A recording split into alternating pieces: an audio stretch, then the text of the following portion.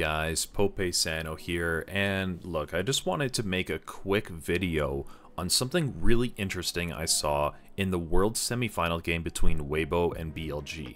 Now, something that lower elo junglers struggle with a lot is when the game doesn't start well, we're too rigid in our pathing, and so we're not actually able to think about the state of the whole map and to adjust our pathing in order to make sure we bounce back in the game. In Weibo Gaming, their jungler Weiwei is really strong at being able to do this, and he actually completely saves Weibo's entire early game by making a few really smart early game decisions when the game goes horribly wrong early. Let me give you some context. The whole time here, as the ward is going to spot out Weibo doing a late invade here towards those Raptors. But look at Bin is coming. They have the extra man defending. BLG have four here, and we don't see the extra people for Weibo just yet. Level one could get spicy and get spicy quick. The Shy's going to be found there with the ward in the brush. Now Weiwei and Xiaohu need to try to get out of here. Flame Spitter from the Shy just buying a little bit of extra time for his teammates to continue the long way home. But the flash Q3 and the Shy's in trouble. He drops down the Ignite, but what's it going to do? On continues the chase as the Shy flashes out. He may be able to survive.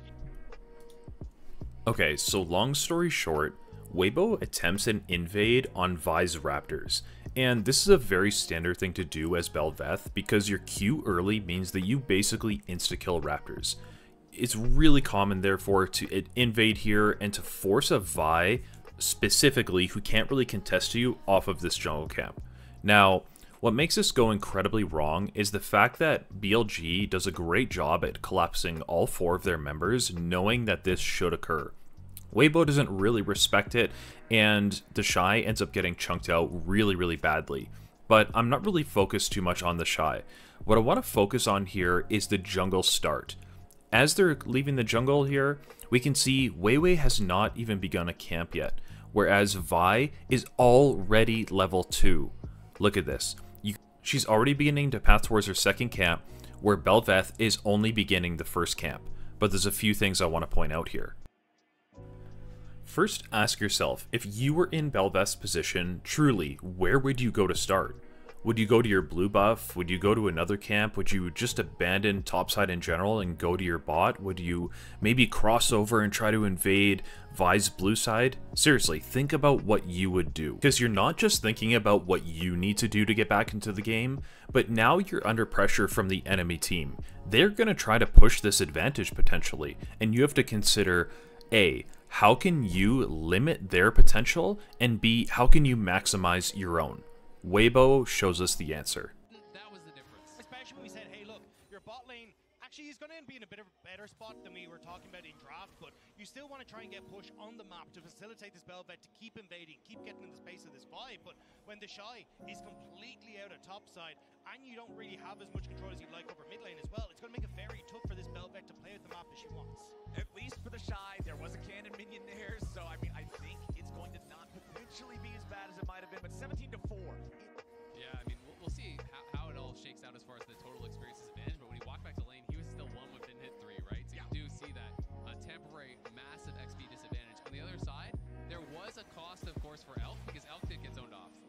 getting caught out now as he tries to invade the enemy jungle.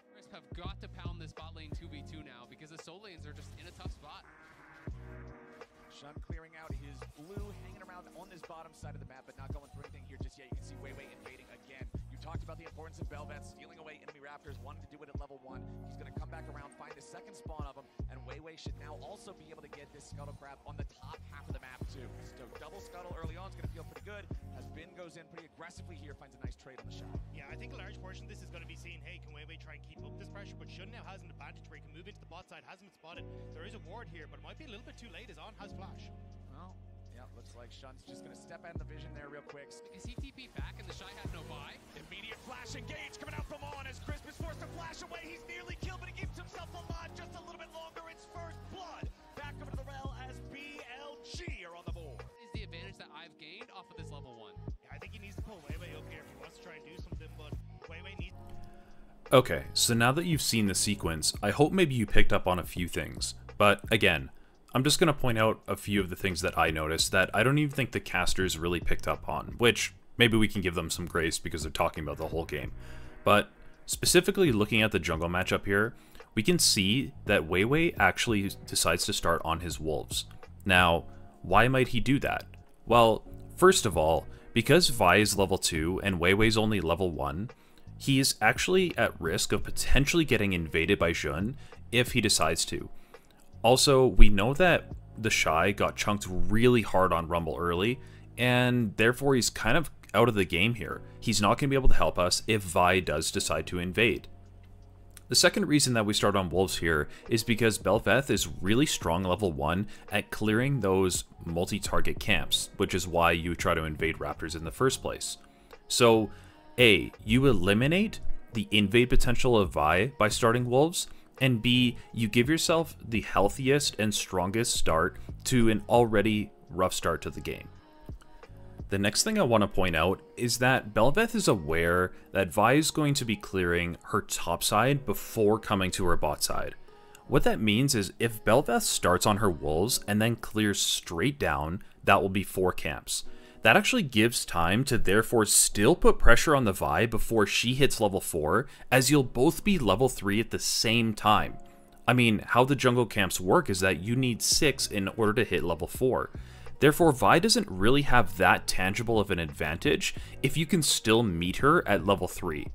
Likewise, Bel'Veth is aware of her bot lane matchup, which is something that low elo junglers still struggle with.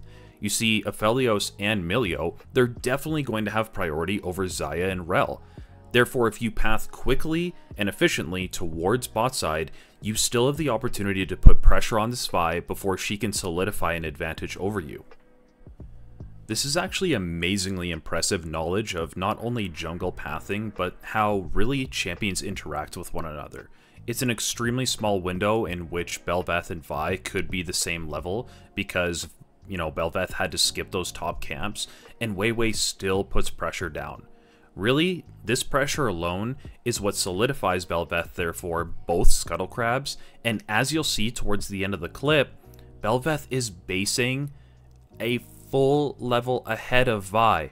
This is crazy from Weiwei and really, really impressive. Something that if we can master in our solo queue games, I mean, we're going to be smurfing.